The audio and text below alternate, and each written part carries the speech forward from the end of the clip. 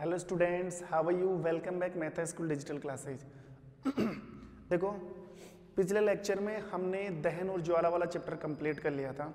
तो इन online classes में आपके छः चैप्टर कंप्लीट हो गए। कितने चैप्टर कंप्लीट करवा दिए मैंने? छः चैप्टर ये आठवां चैप्टर मैं चालू कर रहा हूँ। आठवां चैप्टर है कोशिका, जीवन की आधारभूत संरचना। तो मतलब नया चैप्टर चालू कर दिया बायोलॉजी का चैप्टर है और चैप्टर का नाम क्या है? कोशिका। कोशिका के बारे में हमें पढ़ना है। तुम्हारी आज की क्लास भी यही है। देखो, समझते हैं कोशिका के बारे में।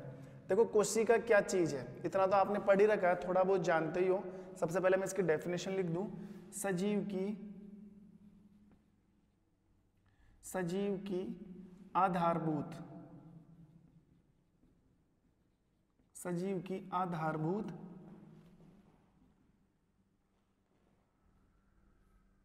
सजीव की आधारभूत, क्रियात्मक एवं संरचनात्मक। संरचनात्मक इकाई को। संरचनात्मक इकाई को कोशिका कहते हैं।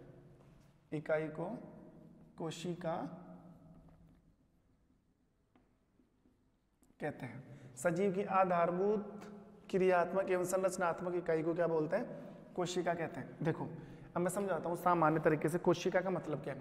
देखो, हमारी जो बॉडी है, हमारी क्या बात है? जो भी सजीव है, इस दुनिया में इस अर्थ पर जितने भी सजीव हैं, जैसे हम हैं, पेड़ पौधे हैं, गाय, भैंस, बकरी, भेड़, जितने भी सजीव हैं या सूक्ष्म जीवाणु हैं, उनका शरीर किससे बना हुआ है? कोशिका से। जैसे मैं, मेरा ही एग्ज़ाम्पल ले तो मैं तुम्हें बताऊँ कि मेरी पूरी बॉडी ही कोशिका से बनी हुई है। फिर आप कहोगे, सर, कहाँ पर है कोशिका? ये अगर हम यहाँ पे देख रहे हैं, ये तो ये तो त्वचा है। इसके नीचे मांस है। फिर उसके नीचे मांस के नीचे ब्लड आ गई, हड्डियाँ आ गई, ये बाल आ गए। फिर कोशिका कहाँ पर हमें दिख क्यों नहीं रही? देखो, कोशिक, सबसे पहली बात, कोशिका को हम नग्न आँखों से नहीं देख सकते। ठीक है? और कोशिका कहाँ है, हमें क्यों नहीं दिख रही? उसका भी मैं आंसर दे दूँ। हमारी पूरी बॉडी कोशिका से बनी हुई है। मतलब ये जो ये जो स्किन बन रही है ना, ये भी कोशिका से बनी हुई है। इसके नीचे जो मांस है ना, वो भी कोशिका से बना हुआ है। फिर जो ब्लड है, वो भी कोशिका से बना हुआ है। तो कोशिकाएँ जुड़ जुड़ कर, जुड़ जुड़ कर कोशिकाओं ने बड़ा रूप ले लिया और जैसे मान लो त्वचा है, अगर इस त्वचा का मैं एक एक कण निकाल दूँ तो त्वचा भी खर जाएगी। वो चीज़ कोशिका है, वो चीज़ कोशिका है। देखो कैसे, एक एग्ज़ाम्पल लू मैं। एग्ज़ाम्पल क्या? एक तरीके से समझाऊं तुम्हें कि सबसे पहले बना हमारा सॉरी सबसे पहले क्या? शरीर से ही कोशिका बनाता हूँ मैं। देखो, सबसे पहले आई कोशिका। जब बहुत सारी कोशिकाएँ मिली, जब बहुत सारी कोशिकाएँ आपस में मिलती है तो बनता है उत्तक। क्या बन जाता है? उत्तक। जब बहुत सारे उत्तक मिल जाते हैं तो बनता है उत्तक तंत्र।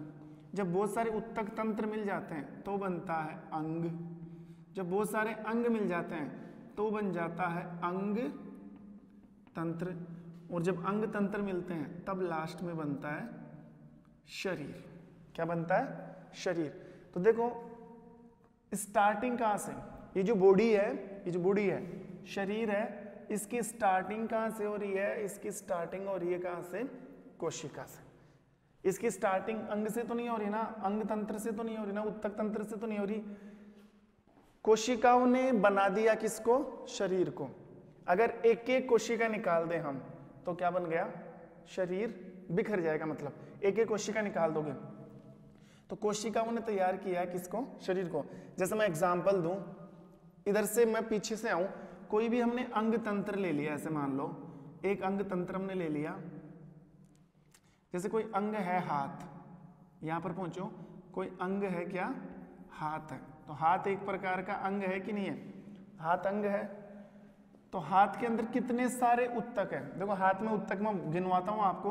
त्वचा, रक्त, मांसपेशी और हड्डी। ये सब उत्तक है।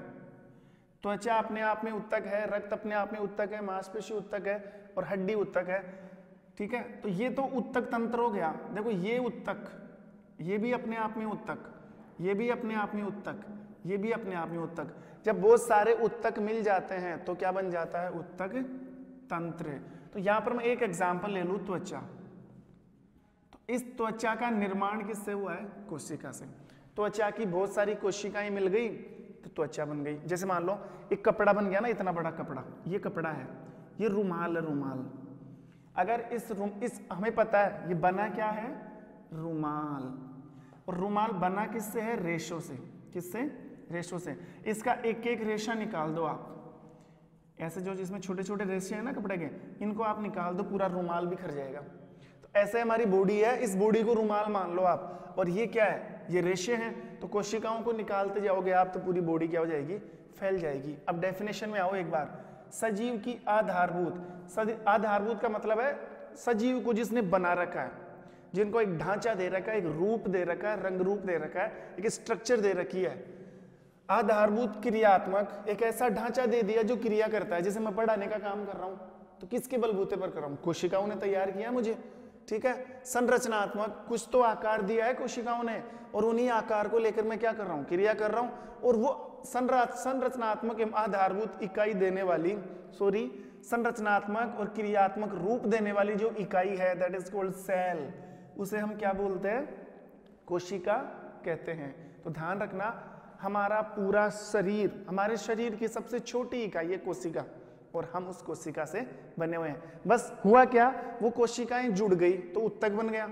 फिर वो उत्तक जुड़ गए तो उत्तक तंत्र बन गया। उत्तक तंत्र बन गया तो अंग बन गया और अंग से पूरा क्या तैयार हो गया? शरीर तैयार हो गया।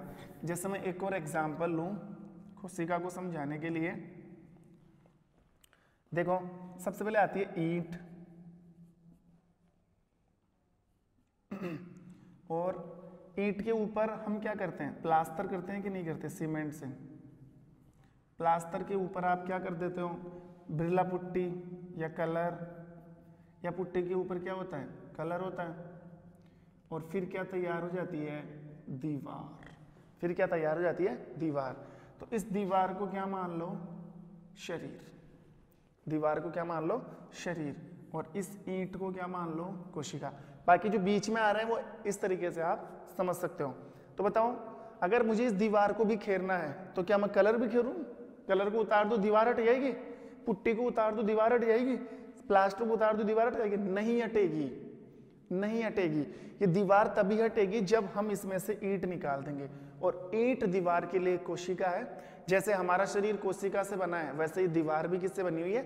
ईंटों से बनी हुई है। एक एक ईंट ने सजाकर दीवार तैयार की है। फिर उसके बाद, जैसे हमारी बॉडी की कोशिका, फिर तो त्वचा आ गई, मांसपेशी आ गई, ब्लड आ गया, पूरी बॉडी तैयार होगी ऐसे अगर पूरी दीवार ढंग से तैयार करनी है तो फिर ये भी करना पड़ेगा। प्लास्टर भी, पुट्टी भी, कलर भी। फिर आप सोच रहे हो, सर, बिना प्लास्टर के ही काम चल जाएगा। तो कंप्लीट नहीं होगी ना दीवार, उसमें थोड़े थोड़े होल रह जाएँगे। ऐसे फिर मैं ऐसे बोलूँ कि हमारे शरीर त्वचा के बिना ही काम चल जाएगा। तो बिना त्वचा हम रह नहीं सकते ना। कोई टच ही नहीं कर सकता हमें। हवाई टच नहीं कर सकती बिना त्वचा तो। तो ऐसे ध्यान रखना, जिस प्रकार शरीर का निर्माण कोशिका से हुआ है, उसी प्रकार दीवार का निर्माण ईट से हुआ है। तो इस तरीके से आप कोशिका को समझ सकते हो। ठीक है? अब नेक्स्ट टॉपिक क्या पढ़ाऊँगा मैं? वो है कोशिका का इतिहास। कोशिका का इतिहास। कि सबसे पहले कोशिका को किसने खोजा? ये कोशिका का जो थोट है, किसके दिमाग में आया? दुनिया के सामने कोशिका कैसे आई? देखो, कोशिका का इतिहास हिस्ट्री ऑफ़ सेल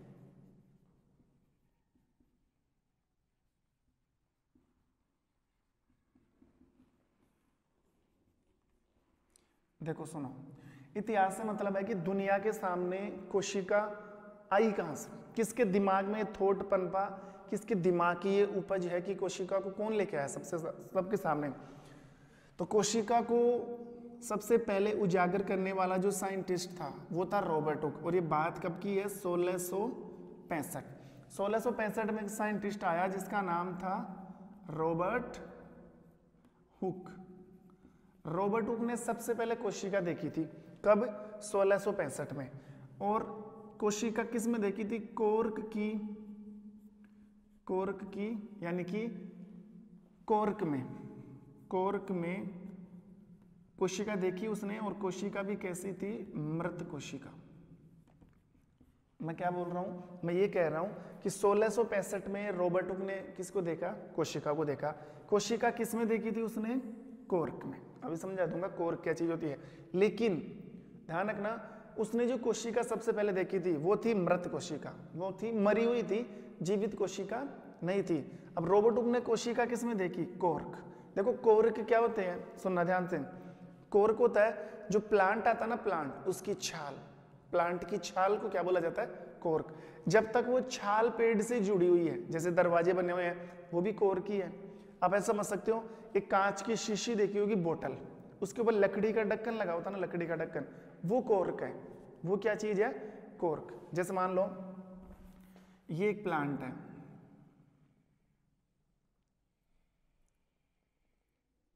ठीक है? ये प्लांट है और ये प्लांट का क्या है? तना। तो इस तने के ऊपर ऐसे छाल होती है कि नहीं होती?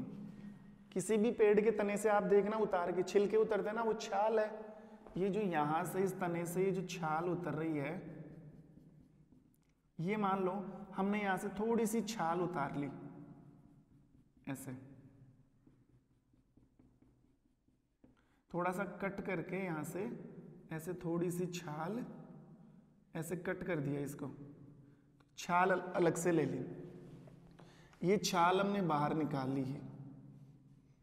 ठीक है? क्या है ये? छाल। तो जब तक ये छाल इस पेड़ से जुड़ी हुई थी, जब तक ये छाल इस पेड़ से जुड़ी हुई थी, तब तक तो ये जीवित थी।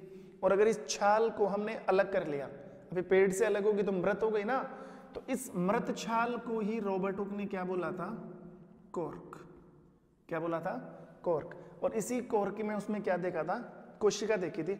अब कोशिका ऐसे डायरेक्ट तो नज़र आएगी नहीं कि छाल में श्रम है तो नज़र नहीं आ रही। कोशिका को देखने के लिए ज़रूरत पड़ती है किसकी? सूक्ष्मदर्शी की। कोशिका ऐसे तो नज़र आएगी नहीं, कोशिका को अगर देखना है तो एक यंत्र उठाना पड़ेगा और उसे बोलते हैं सूक्ष्मदर्शी माइक्रोस्कोप, माइक्रो सूक्ष्मदर्शी और सूक्ष्मदर्शी में भी आप डायरेक्ट छाल लगाकर या एक कोर्क लगाकर नहीं देख सकते। पहले जिस कोशिका को आपको देखना है, उस कोशिका की क्या बनानी पड़ती है? स्लाइड बनानी है। अब रोबर्ट ने क्या किया था? ये जो मरी हुई छाल है, जिसको क्या बोल रहे हैं? कोर्क। उस कोर्क की कोशिका देखी तो डायरेक्ट कोर्क को नहीं लगाया माइक्रोस्कोप में पहले इस कोर्क की क्या बनाई थी? छाल बनाई थी सॉरी इस कोर्क की क्या बनाई? स्लाइड। तो देखो, कोर्क की स्लाइड कैसे बनाते हैं? जैसे कोशिका किसकी देखी थी? रॉबर्ट ने? कोर्क। तो सबसे पहले काम किया था उसने इसकी क्या बनाई? स्लाइड बनाई। और स्लाइड कैसे बनाते हैं? एक आयताकार कांच की पट्टी लेते हैं ऐसे एक आयताकार कांच की पट्टी लेते हैं, उसके ऊपर एक बूंद डालते हैं किसकी? जल की। किसकी बूंद डालते हैं? जल की। अब, अगर कोशिका को आपको ढंग से देखना है कलरफुल देखना तो इसमें एक वर्णक आता है कलर आता है सेफ्रेनिन वो भी डाल सकते हैं, लेकिन बिना कलर देखना हो तो पानी से काम चल जाएगा। अब हमें कोशिका किसकी देखनी है? कोर्क की। तो कोर्क की एक पतली सी परत निकाल लो जो चिमटी आती है ना, जैसे प्याज की पतली झिल्ली आती है ना, चिमटी से क्या हाथ से निकाल ले प्याज की तो। तो प्याज की पतली झिल्ली की तरह, कोर्क की झिल्ली उतारनी है और उस झिल्ली को इस पानी के ऊपर ऐसे फैला दो। उस झिल्ली को पानी के ऊपर। अब ये जो झिल्ली है ना, किसकी झिल्ली है? कोर्क की। कोर्क की पतली झिल्ली। क्या किया हमने? सबसे पहले कांच की आयताकार पट्टी ले ली। उसके ऊपर एक बूंद क्या डाल दी? देखो। कांच की एक आयताकार पट्टी, उसके ऊपर एक पानी की बूंद। अब जिसकी कोशिका देखनी है तो बात तो रोबोटुक की चल रही है। रोबोटुक ने किसकी कोशिका देखी थी? कोर्क की। तो उसने क्या किया? कोर्क की एक पतली झिल्ली उतार ली चिमटे से और उसको उस पानी की बूंद पर फैला दिया। इतना काम करने के बाद एक कवर स्लिप आता है, प्लास्टिक का बना हुआ। प्लास्टिक की एक छोटी सी पट्टी आती है उस पट्टी को इसके ऊपर बिछा दिया कोर्क की पतली झिल्ली के ऊपर। लेकिन ध्यान रखना उसे कवर स्लिप बोलते हैं। झिल्ली रखने के बाद जिसकी कोशिका आपको देखनी होती है, उसको ढकना पड़ता है। उसको कवर स्लिप बोलते हैं ढकने वाली को। इसको क्या करना पड़ता है? Cover slip. कवर स्लिप एक प्लास्टिक की छोटी पट्टी से कर सकते हैं। लेकिन जब भी कवर स्लिप करें तो ध्यान रहे, कवर स्लिप या उस प्लास्टिक की छोटी सी पट्टी को जब रखेंगे ना उसके ऊपर तो हमें ये ध्यान रखना पड़ेगा कि उसमें हवा ना घुस जाए। जब भी उसके ऊपर रखोगे तो हवा के बबल्स नहीं बनने चाहिए, पूरी हवा निकलनी चाहिए। तो इसको इस तरीके से फैलाया जाता है, इस कवर स्लिप को, कि पूरी हवा निकल जाए। क्योंकि हवा नहीं निकलेंगे तो बबल्स बनेंगे, बुलबुले बनेंगे, और वो बुलबुले माइक्रोस्कोप में नज़र आएँगे तो कोशिका ढंग से दिखेगी नहीं। तो ऐसे स्लाइड बनाई रॉबर्ट ने। कोर्क की पतली झिल्ली फैला दी, कवर स्लिप कर दिया। अब स्लाइड तैयार है। उसने ये स्लाइड उठाई और माइक्रोस्कोप में लगा दिया। किसमें लगा दिया? माइक्रोस्कोप में। जब उसने माइक्रोस्कोप में कोर्क की कोशिका देखी तो देखते ही शॉक्ड हो गया। शॉक का मतलब उसको एक अचंबा सा हुआ कि ये क्या चीज़ है। फिर उसने उसको कोशिका नाम दिया। तो जब उसने इस कोर्क की छाल को सॉरी इस छाल की कोर्क को, जो मृत छाल थी, इसकी स्लाइड बनाकर जब उसने सूक्ष्मदर्शी में देखा तो ये कोर्क या छाल उसको कैसे नज़र आई? ये उसको नज़र आई मधुमक्खी के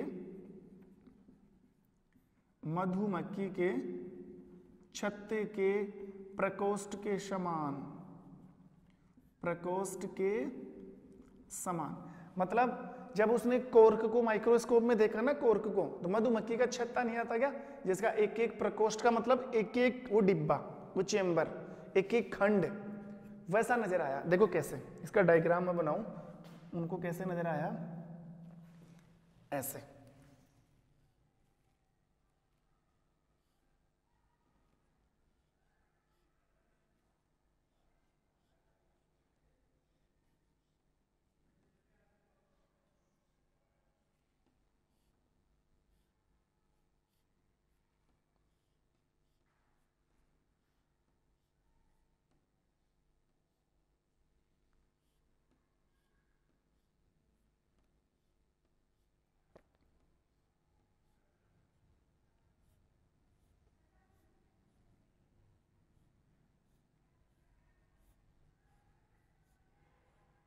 ये देखो। ऐसे जो स्ट्रक्चर लग रही ना, ये ये ऐसे किस किस स्ट्रक्चर है? मधुमक्खी का छत्ता ऐसा ही तो होता है। देखना कभी भी, बारीक तरीके से ऑब्ज़र्व करना हनी कोम को, मधुमक्खी के छत्ते को। तो ये क्या चीज़ है? जब उसने कोर्क की स्लाइड बनाकर माइक्रोस्कोप में देखा तो उसको ऐसी आकृति नज़र आई। तब उसने अनुमान लगाया कि ऐसी आकृति तो मधुमक्खी के छत्ते की होती है। और ये अपने आप में एक प्रकोष्ठ है।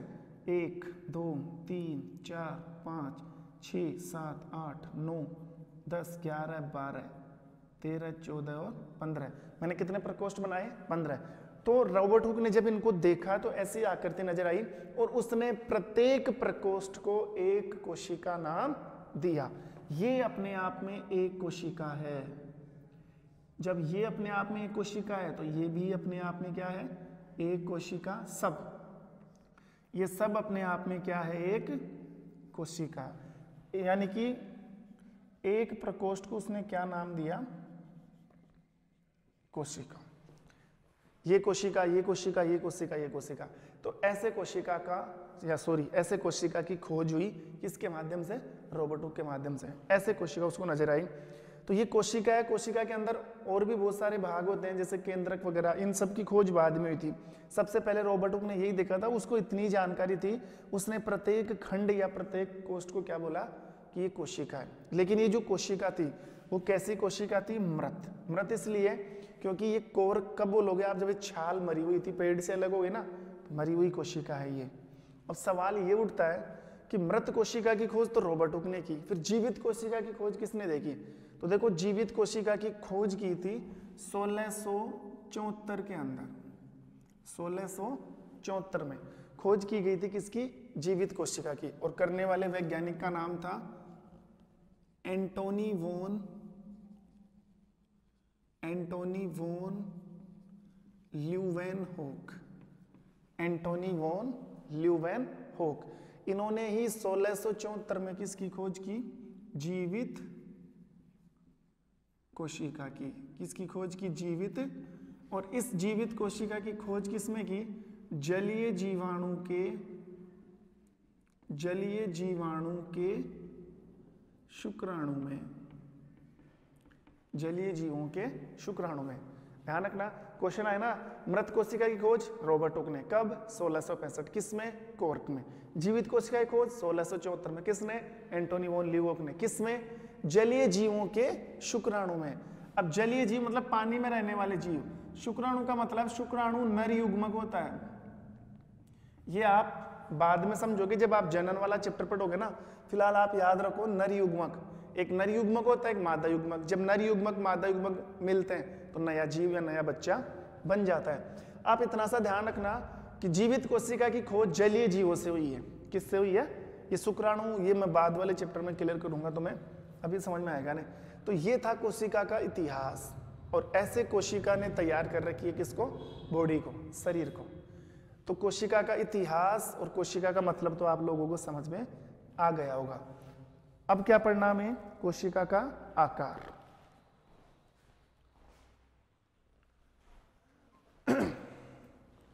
देखो ये कोशिका के बारे में जानकारी तो मैंने दे दी, ठीक है? कोशिका के इतिहास के बारे में मैंने पढ़ लिया। अब कोशिका से रिलेटेड बहुत सारे टॉपिक आएँगे। वो जैसे जैसे नेक्स्ट क्लास में उतरेगी वैसे वैसे आपको मिलते रहेंगे। जैसे कोशिका का आकार कोशिका की आकृति, कोशिका के भाग, बहुत सारे टॉपिक क्लियर करने में। तो ये तो कोशिका का एक सामान्य परिचय था। बताया गया कि कोशिका की खोज कैसे हुई है, किसने की, कब की, और ये कोशिका का मतलब। अब कोशिका से रिलेटेड जो भी नेक्स्ट टॉपिक है, वो हम नेक्स्ट क्लास में क्लियर करेंगे। इससे आगे जितने भी टॉपिक आते जाएँगे। तब तक के लिए thank you have a nice day